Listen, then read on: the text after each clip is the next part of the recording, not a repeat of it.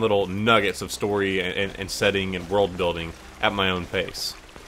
Uh, this is something that we don't see in the novel or in the movie because these forms are static and fixed. You know, there's no reason in video games for um, for pretty much anything to be fixed. You know, uh, aside from the argument of you know order, you know structure versus freedom. You know, to, to some degree, you do want uh, some elements of the story to be fixed, So many people.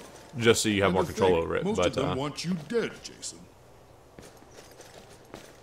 but it- it's also nice being able to explore the city at my own pace instead of just walking through in a cutscene, you know, and having this information delivered to me.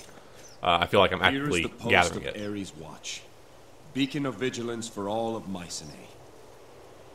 The eyes of the king are forever open. He sees all that happens here. No threat may surprise this land so long as the watch remains.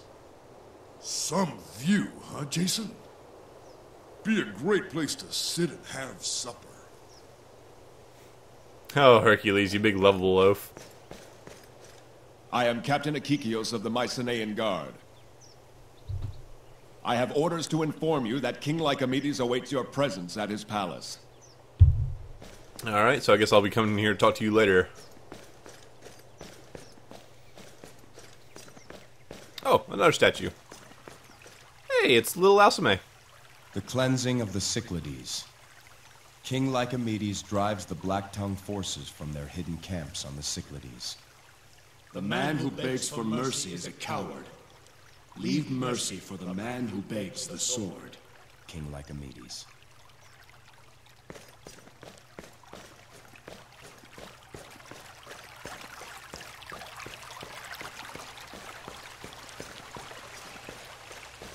I really am enjoying this treatment of Hercules. Uh, we've seen Hercules depicted in so many different media, so it's it's very natural to kind of want to compare him to all his other renditions. But uh, here he's, he's big, you know, he's, he's got that kind of wrestler persona in a way, but he's kind of ad- adorable at the same time. On a poor crier, sir. Go to my ship at the docks. My crew will feed you. Bless you. How cruel that one so kind will find such a fate on Mycenae. What do you mean, old man? Can't you hear it? The fates speak to those who listen. Do they? And what do they say? Listen for yourself. Achilles practices in the arena as we speak. Perhaps he can tell you. Oh, Achilles, huh? Well, this game is full of famous Greek legends. Ichibe.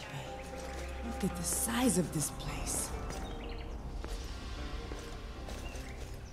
Here did stout-hearted Ares and Eulias sow the dragon's teeth to summon forth warriors of the dim underworld. And here did those shadowed men fight in endless sport for the pleasure of bronze-thewed Ares. When his lineage arrived to make this land their home, mighty Ares offered his warriors as help to build the city.